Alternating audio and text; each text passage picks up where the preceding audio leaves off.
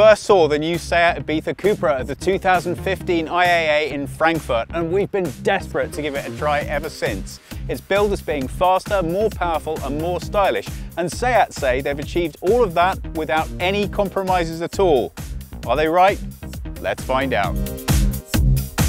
The first generation of the Ibiza Cupra to hit the roads arrived in 1996, but a lot's changed since then. Nearly 20 years on, the small car has evolved into one of the most popular little powerhouses on the road.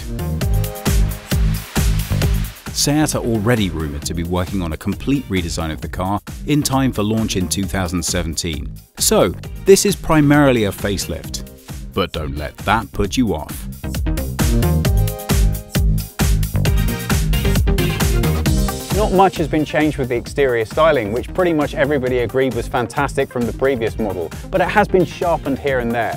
We have new LED headlights at the front and really great 17-inch alloy wheels to set the style off. At the rear, we have large rear diffusers and a twin exhaust pipe in the middle that really make the car feel muscular and sit nicely on the road. The inside of the car feels clean and fresh. A lot of attention's been paid here to making everything being stylish and uncluttered.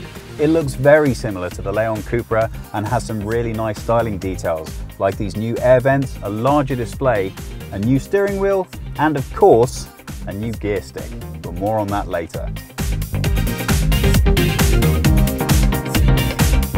All that power being delivered to the front all at once means that you really benefit from the XDS. It makes sure the power is beautifully controlled, so when you put your foot down and call on it, there's no slip at all.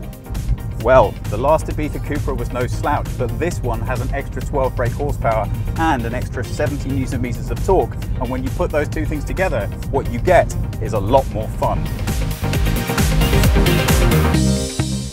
The real changes that have taken place are here with the engine. The Cupra comes with a 1.8 litre TSI petrol engine that now produces 189 brake horsepower. That's 12 horsepower more than the previous model, but wait, it also has an extra 70 newton meters of torque, and that's a lot of power to deliver to the front wheels. So, to compensate, Seat have fitted the car with the new electronic differential, or XDS. That should help to make sure that all the power goes exactly where you want it to.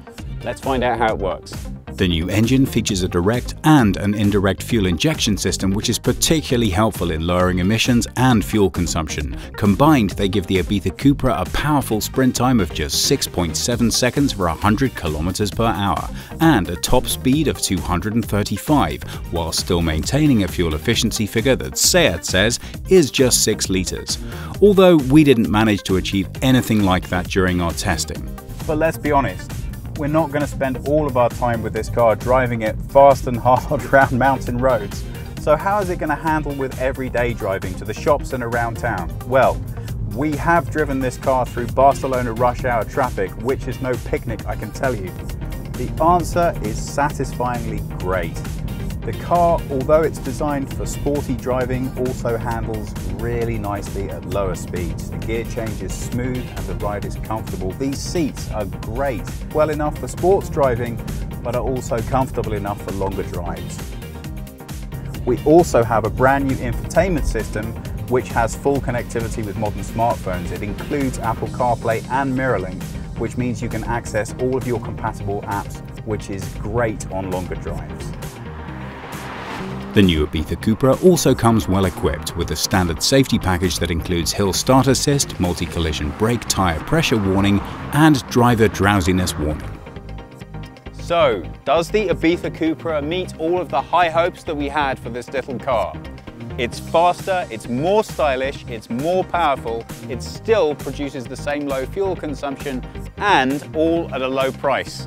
We say absolutely yes.